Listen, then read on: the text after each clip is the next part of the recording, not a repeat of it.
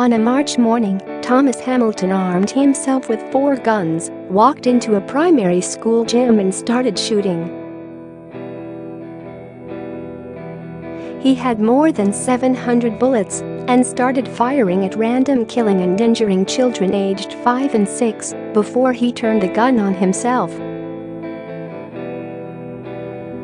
A total of 16 children and one teacher died at the hands of the evil killer on 13 March 1996 in a horror dubbed the Dunblane Massacre which remains the deadliest mass shooting in British history. Complaints had been made about Hamilton in the months leading up to his murderous rampage as he acted strangely around young boys and appeared to be showing a growing sense of resentment for authority and the people around him. This had begun when Hamilton learned the truth about his family at the age of 22 a secret that had seen him grow up believing his mother Agnes was his sister because his family were desperate to avoid the shame they perceived in him growing up in a single-parent family.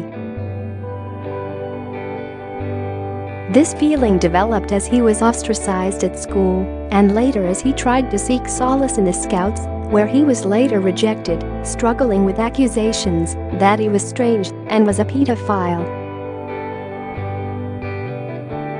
Instead, he turned to guns, amassing a huge collection of firearms and becoming a member of a rifle club.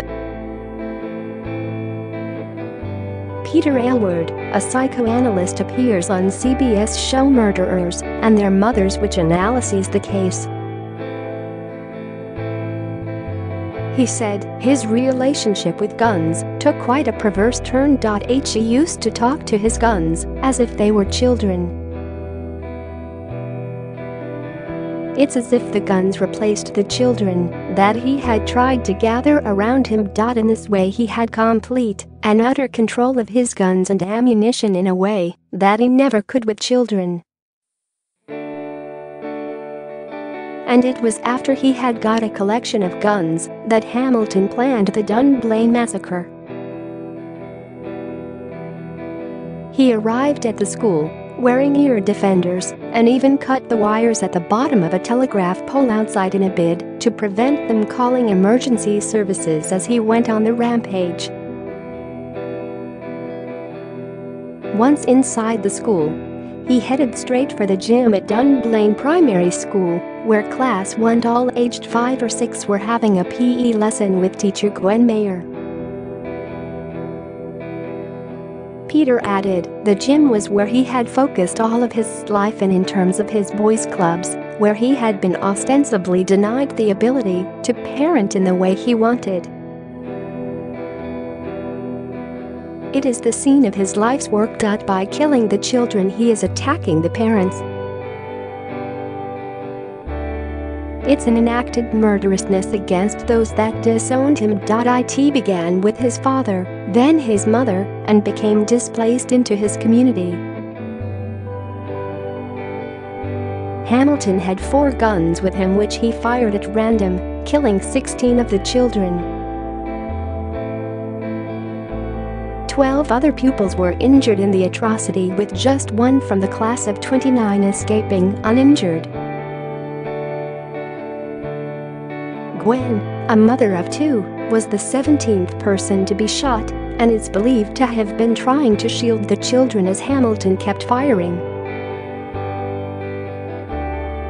The devastating massacre took a little over three minutes. Hamilton was born on May 10, 1953. Shortly after his birth his father left Hamilton's mother Agnes for another woman. Mother and son moved back in with Agnes's adopted parents, her Aunt Catherine and Uncle Jim, who had adopted Agnes after her own mother gave birth to her out of wedlock and they had been keen to hide this. It was then that her aunt decided to adopt Thomas as well, to prevent him having to grow up in a single-parent family which they saw as having an incredible stigma. But Thomas was never told and grew up with his mother as his sister and his incredibly controlling adoptive mum Catherine who was later referred to as the mother from hell. Peter added, in Thomas Hamilton's family history we have repeated experiences across the generations of an attempt to avoid the shame of children born out of wedlock. Catherine went to great lengths to advertise to the community that she had fallen pregnant again and was having another child in order to conceal this child, Thomas, from the stigma of a father having left the family to have an affair. We know that shame and humiliation is one of the major contributory factors to violence, where violence attempts to eradicate any feelings of shame. It doesn't but it is one of the main reasons violence exists and is enacted. As Hamilton grew up in a strained home environment, he also struggled to make friends at school and was often referred to as loner. He left school at 15 to become an apprentice, and he also joined the Venture Scouts. By 1973, he was second in command of his local Scouts group a place where he thrived due to the organization and rules. He also joined the Dunblane Rifle Club developing his obsession with guns, and over the years, began to amass a collection of weapons. At age of 21 became leader of 24th Stirling Scouts a position that gave him a notion of parenthood and the sense of belonging that he desired. But some of his trips were fraught with disaster. In 1973 Hamilton set off from Stirling with a party of Boy Scouts heading for Aviemore in the Scottish Highlands. By the time they got to the area it was dark and their van broke down. About a dozen children ended up spending the night sleeping huddled together in the back of the vehicle in sub-zero temperatures. Within weeks another trip would see him thrown out of the scouting movement for good. Yet another party of scouts headed off for a winter field trip. Hamilton ended up with 12 youngsters soaked to the skin and on the verge of hypothermia. He was asked to leave the scouts because of complaints about his behavior and accusations started to fly around that he was a pervert. Peter added, the impact that this would have had was catastrophic. He spent the next 21 years trying to address what he felt was this major issue. In the same year he learned about the truth of his family and that the woman he thought was his sister, 21 years his senior, was actually his mother. Desperate to get back into the Scouts, Hamilton approached District Commissioner David Vass and offered his services as a leader. But Vass checked him out and was told, don't touch him by others in the Scouts. All of Hamilton's later attempts to rejoin the Scouts failed Annoyed that he had been dismissed by the Scouts, Hamilton started up a network of boys' clubs with the Dunblane Rovers. He did activities that were similar to the Scouts and used to take children away on trips with him. But he was known to be very strict and run his summer camps in a strange way, forcing boys to wear black swimsuits and taking pictures of them. He used to display these pictures in his home in Stirling and show people who came to visit. Peter added, his relationship with the boys had a sadistic quality. Part of his character was taking pleasure in other people's pain, particularly boys' pain. Hamilton never managed to escape the rumors circulating about him. Rumors of his obsession with young boys were rife. People had complained about his bizarre sports training sessions, where he made young lads play without shirts. The boy with the biggest chest would be promised he could be captain. Complaints about Hamilton's summer camps led to him being probed by child protection officers from three Scottish police forces. But despite extensive inquiries there was never a prosecution. In the community, Hamilton was being labeled a pervert name that offended him to such an extent he started a campaign of writing letters, sending irate notes to the Queen, in her position as patron of the Scouts Association, and the local council accusing schools in Dunblane of contaminating the boys against him. Experts point to his twisted family relationship and his expelling from the Scouts as contributing to Hamilton's growing resentment of his family and the community around him, and eventually a well-thought-out plan to murder.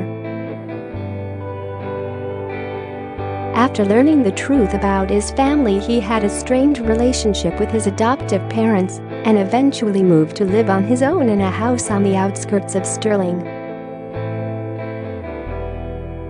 He visited his mother twice a week phoning her every evening. But he always treated her like a sister. Dr. Kiri Nixon, a forensic psychologist, said you would have grown up feeling very betrayed. Who am I? What is my identity? How could you be my sister and not love me? Didn't you want me? No wonder this is a man who would have some deep-seated psychological issues.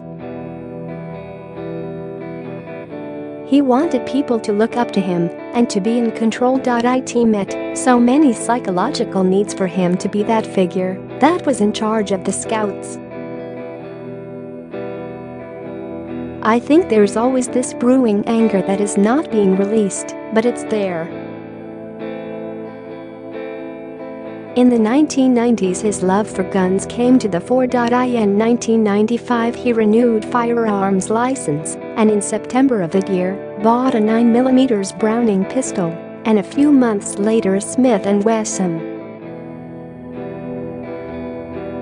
He is then thought to have started to plan the massacre. Hamilton's mother apparently knew about his gun club and boys clubs, but never suspected her son could turn to murder.